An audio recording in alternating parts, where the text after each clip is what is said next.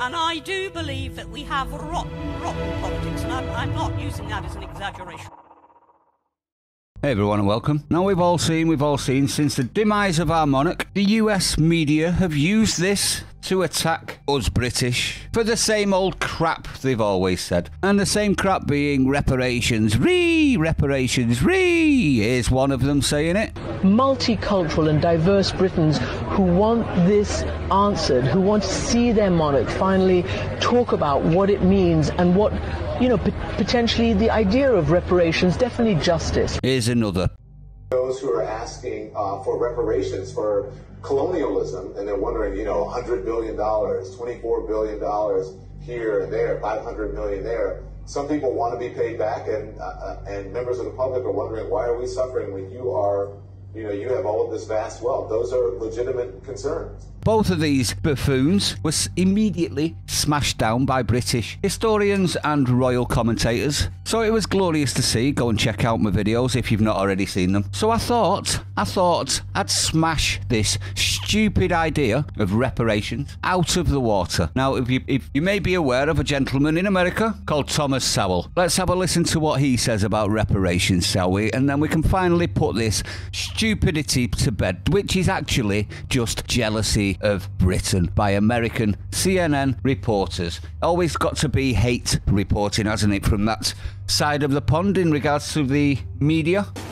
No, it, it, it, it was a rotten system.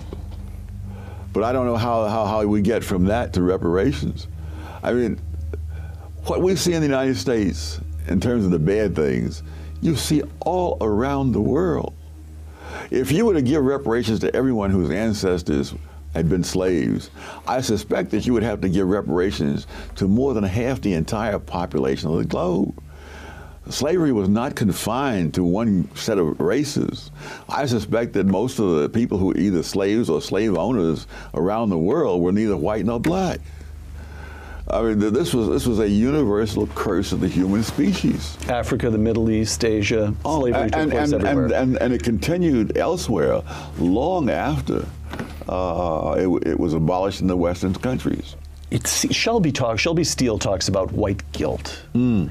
And in Ta-Nehisi Coates, you get almost the counterpart of that, uh, a kind of African American claim against the white guilt. And this seems, it,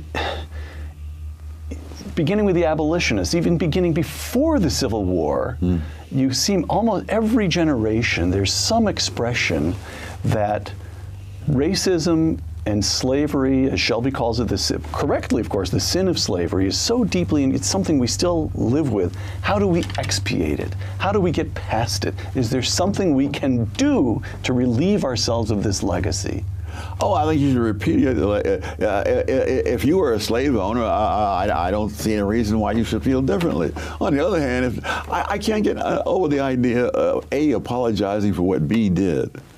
Okay. Uh, even when they're contemporaries, much less when, when, when, when, when one is dead and the other is alive. All right. I mean, Scalia, I remember saying, you know, that uh, I, I, I, I owe no man anything uh, because uh, pe people who look like me did something that people who look like him. So there you go. I don't need to say anything else to that. So in regards to the media in the in America, shut your mouth holes. We don't have to pay reparations. I could go in deeper much deeper that would prove we don't have to pay repar reparations. But maybe you should pay reparations to us. That's all I'm saying. Stay sane. I'll see you on the next one.